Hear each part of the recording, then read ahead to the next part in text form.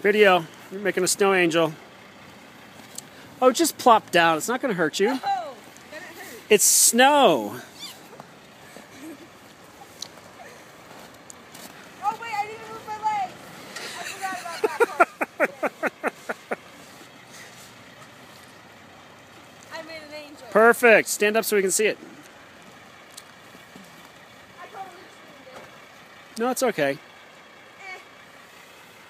That was a really good spot, though. It was a perfect spot. There's my angel upside down. Is that still on video? Yeah.